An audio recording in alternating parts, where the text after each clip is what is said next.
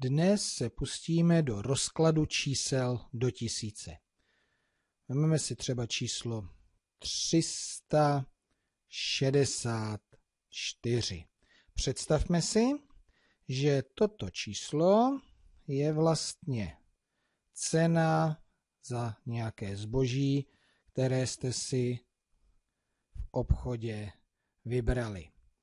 Když jsme si to vybrali, tak to budeme muset i taky zaplatit. Máme peněžence dostatečné množství 100 korun, 10 korun i korun, proto nebude problém to zaplatit. Takže na těch 300 si z peněženky vytáhneme 3 100 koruny.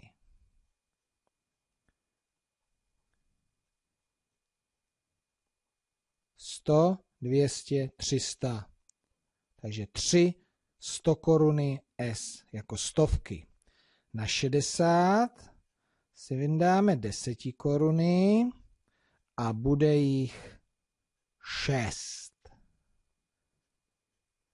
Tak, ještě 40, 50, 60, 10, 20, 30, 40, 50, 60, 6 deseti korun, desítky. No a na čtyři si vememe jenom čtyři jedno koruny, jeden, dva, tři, čtyři, jedno koruny, jednotky. No, aby se mně chtělo 364 pořád takhle zapisovat kreslením, no tak to se mě teda vážně nechce. Tak já to zkusím trošku zjednodušit. 100 koruny 3, 100 koruny, třemi 100 korunami, třemi stovkami jsem to zaplatil. A potom jsem si vzal 6 deseti korun, 6 desítek a potom jsem si vzal 4 jedno koruny, 4 jednotky. No, zapsal jsem to sice hezky, ale matematicky to moc není. Takže jak bych to mohl udělat? Víc matematicky.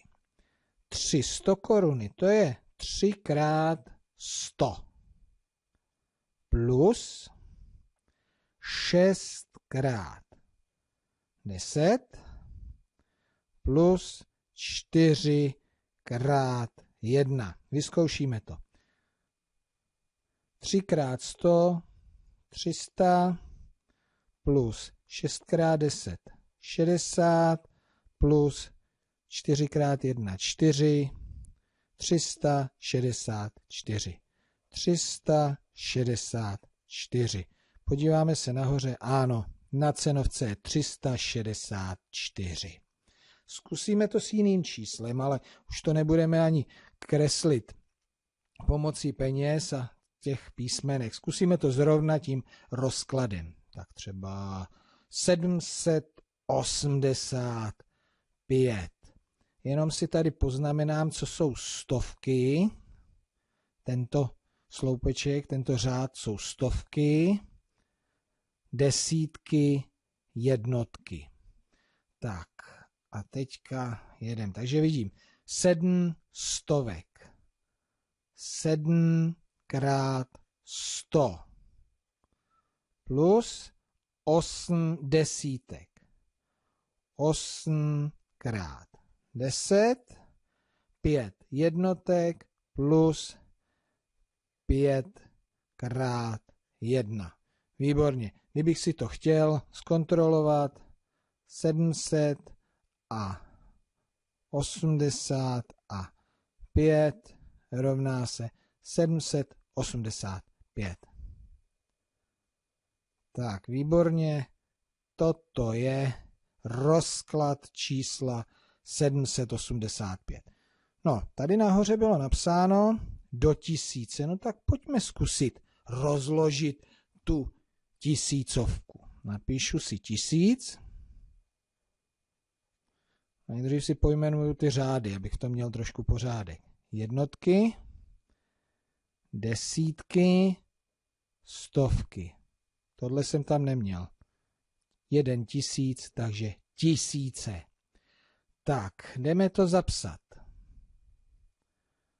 Tisíce. Jeden. Takže jednou krát tisíc, jedna tisícovka. Plus, jujda, nula. No ale tam nemůžu nechat jenom nulu, nula krát sto, byly řád stovek, a zase nula krát deset, jednotky nula krát jedna.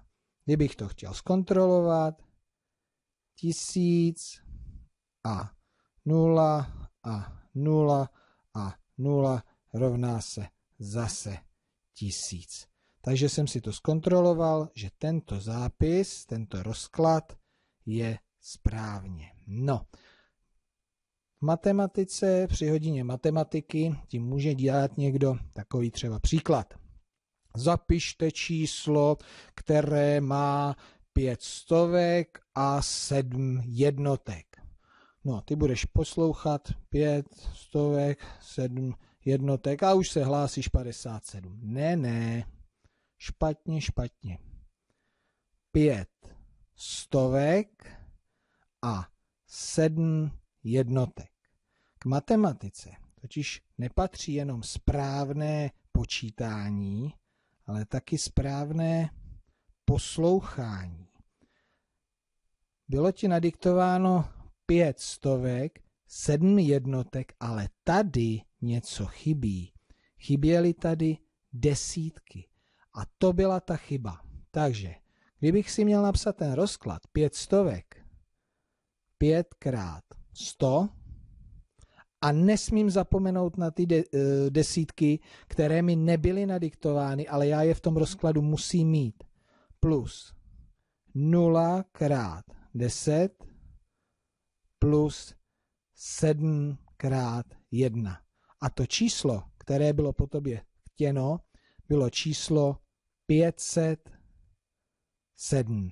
Takže pořádně poslouchat, pokud ti někdo bude diktovat číslo, které máš potom zapsat jakoby rozkladem nebo číslem. No, doufejme, že se ti bude v rozkladech dařit, no a někdy příště ahoj.